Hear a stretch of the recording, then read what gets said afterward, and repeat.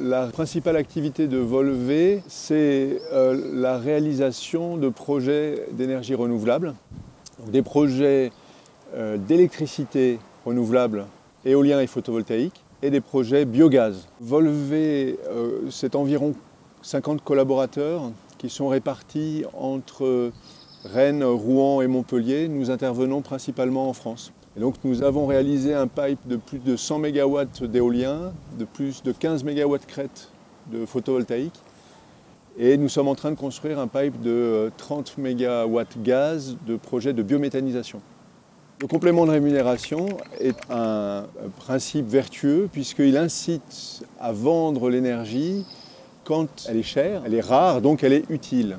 La totalité de l'énergie vendue par Volvé était vendu à EDF obligation d'achat. Depuis le mécanisme du complément de rémunération, une moitié à peu près du chiffre d'affaires constitué par la vente d'énergie est fait sur le marché de gros de l'énergie, donc par l'intermédiaire d'un agrégateur. Donc il a fallu choisir, sélectionner un agrégateur qui soit performant, solide et aussi qui rassure nos banques.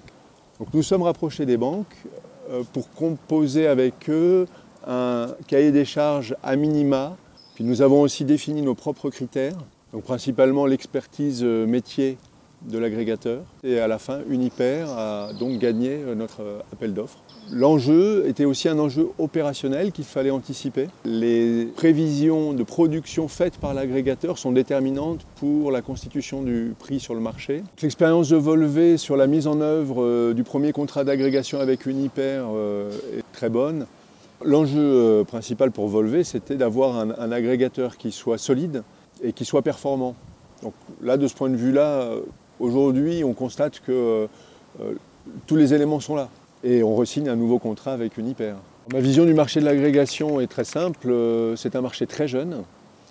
Aujourd'hui, il y a environ 1 TWh qui sont agrégés en France. Et on parle de 10 TWh à agréger dans les deux ans qui viennent. Donc il y a énormément de place pour tous les acteurs, et notamment pour les pure players. Par contre, c'est dans un environnement euh, rude et concurrentiel. Alors c'est à notre avantage aujourd'hui. Tout le monde s'attend à ce qu'il y ait une concentration des acteurs du marché de l'agrégation. Les gros acteurs, en plus, ont un avantage énorme, c'est qu'ils offrent une surface euh, qui rassure les banques, avec un foisonnement de projets qui fait qu'ils sont plus performants, euh, donc ils sont bien plus attractifs. Hein. Dans l'agrégation, big is beautiful.